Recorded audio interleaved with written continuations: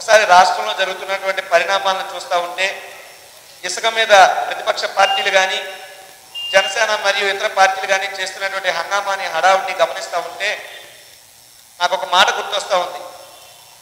క్రీస్తు పూర్వం ఆచార్య చాణక్యులు అనేటువంటి ఒక మహానుభావుడు ఉండేవారు. ఆయన ఒక మాట చెప్పారు ఆనాడు.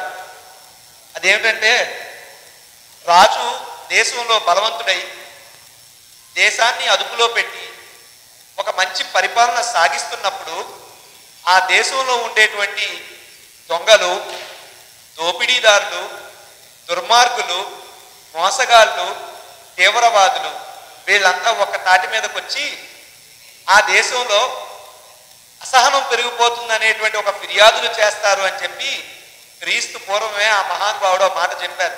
ఈరోజు ఆయన చెప్పినటువంటి ఆ మాట అచ్చంగా ఆంధ్రప్రదేశ్ రాష్ట్రంలో జరుగుతున్నటువంటి పరిణామాలకు అర్థం పట్టే విధంగా ఉందని చెప్పి నాకు అనిపిస్తూ ఉంది. ఎందుకంటే జగన్మోహన్ రెడ్డి గారు ఇచ్చినటువంటి ప్రతి హామీని గడిచినటువంటి ఈ పరిపాలన చేసినటువంటి ఇన్ని నెలల్లో ఏ విధంగా ప్రతి మాటని నిలబెట్టుకుంటూ ప్రజారంజకమైనటువంటి పరిపాలన ఆయన అందిస్తూ ఉంటే ఈరోజు ఒక రాజకీయ దొంగల మాదిరి రాజకీయ దోపిడీదారుల మాదిరి ఒక రాజకీయ తీవ్రవాదుల మాదిరి అది జనసేన పార్టీ వారైతే కానివ్వండి పవన్ కళ్యాణ్ గారు కానివ్వండి చంద్రబాబు నాయుడు గారు కానివ్వండి వీళ్ళంతా తోడేళ్ళ మాదిరి ఈ ప్రభుత్వం మీద అవాకులు చవాకులు పేలుతూ ఉంటే నిజంగా హాస్యాస్పదం అనిపిస్తూ ఉంది. మరో విధంగా పవన్ కళ్యాణ్ గారు చాలా నోటికి ఇష్టం వచ్చినట్టు మాట్లాడారు. ఏ విధంగా అంటే జగన్మోహన్ రెడ్డి గారు జైలుకి వెళ్ళారు కోర్టులకు వెళ్ళారని మాట్లాడారు.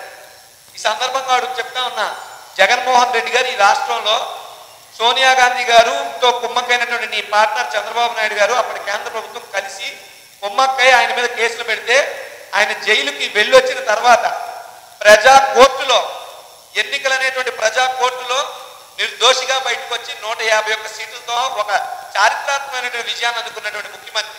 అంతే తప్ప మిగతా రాష్ట్రాల్లో ముఖ్యమంత్రి లాగా ముఖ్యమంత్రి అయ్యాక జైలుకి వెళ్ళలేదు.